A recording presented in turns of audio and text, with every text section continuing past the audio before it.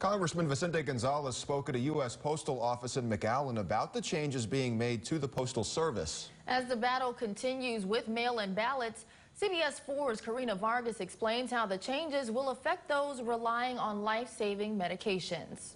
I'm hoping that uh, the Postal Service will continue to service.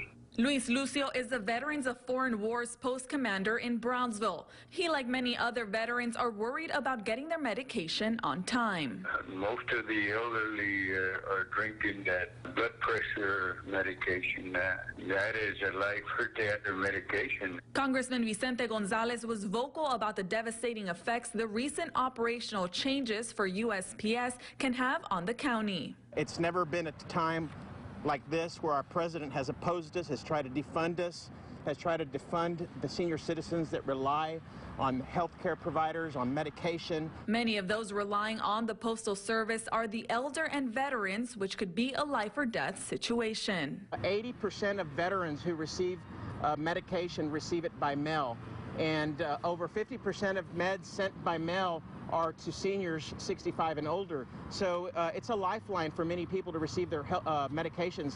The Department of Veterans Affairs relies heavily on the delivery of medications by USPS. And in a statement, they tell us VA continually monitors prescription delivery times throughout the country, and the department has always used a variety of methods to ensure timely delivery, including in-person pharmacies, USPS, and commercial carriers. Congressman Gonzalez says he is headed back to Washington Washington in hopes of bringing $25 billion to the postal system. Working for you in McAllen, I'm Karina Vargas.